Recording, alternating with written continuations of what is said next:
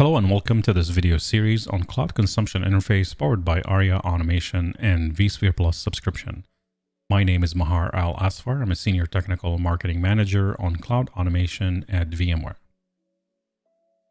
Platform consumers, including personas such as administrators, developers, DevOps, and platform engineers, are continuously turning to modern development practices containerization, and Kubernetes with the goal of improving deployment's consistency, speed, and agility.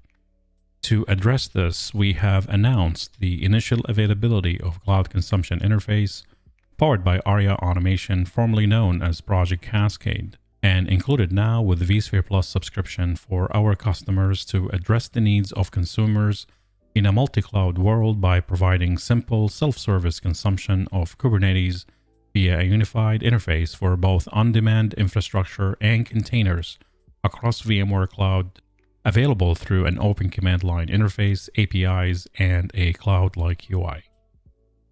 In this video series, we're going to go through all the necessary requirements needed to connect your VMware Cloud vCenters to vSphere Plus Cloud Service, this enhances the overall operational efficiency by centralizing management and governance of your vSphere infrastructure through the VMware Cloud Console, as well as allows our customers to activate services like the developer experience that we will be showcasing in this video series. This will activate VMware Aria Automation free tier and set up all the necessary building blocks needed to configure, manage, and use the cloud consumption interface capability. Users can then utilize the kubectl commands to provision and manage Kubernetes-based supervisor IaaS services with object YAML definitions that exist today with vSphere with Tanzu and accessible via a single sign-on from a common cloud endpoint that allows developers to manipulate applications in many different regions with many supervisors as easily as managing and consuming a single supervisor today.